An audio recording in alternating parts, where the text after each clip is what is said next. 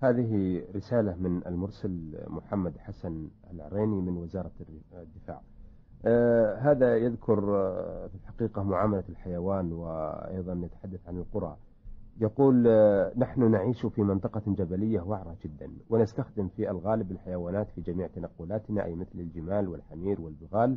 وعند ذلك سواء ذهبنا إلى المدرسة التي تبعد عن القرية 10 كيلو تقريبا يقول ونضربها ضربا موجعا لكي تمشي وتقطع المسافة إلى المدرسة بسرعة.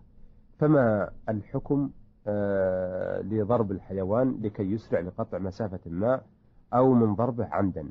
علما آه، أنني قرأت حديثا عن الرسول صلى الله عليه وسلم أن الحيوانات تقتص من الإنسان يوم القيامة. أفيدونا جزاكم الله خيرا. الجواب الحمد لله.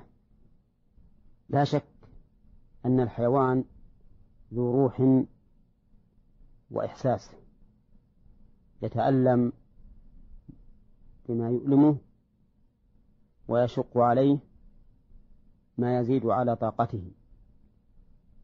فلا يجوز للمسلم أن يحمل الحيوان ما لا يطيق سواء كان ذلك من محمول على ظهره أو كان ذلك من طريق يقطعها ولا يستطيعها أو غير ذلك مما يشق عليه.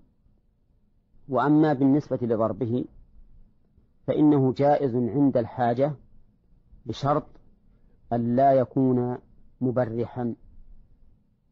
فقد ثبت عن رسول الله صلى الله عليه وسلم من حديث جابر في قصة جمله أن الرسول صلى الله عليه وسلم لحقه وفيه أنه ضرب الجمل.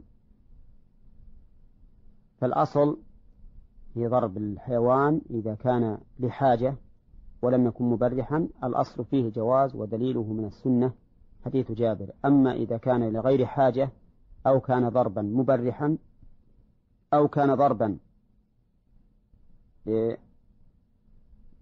يصل الحيوان إلى أمر شاق عليه نعم. فإن ذلك لا يجوز.